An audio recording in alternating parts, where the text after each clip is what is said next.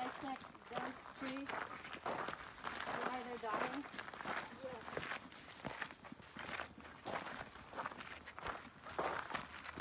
How about a rock?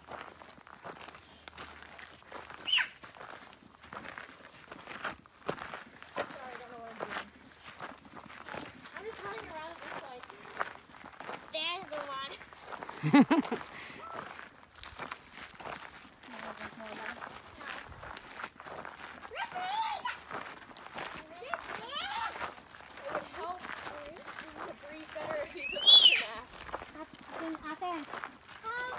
you you copy your sister the way she dressed.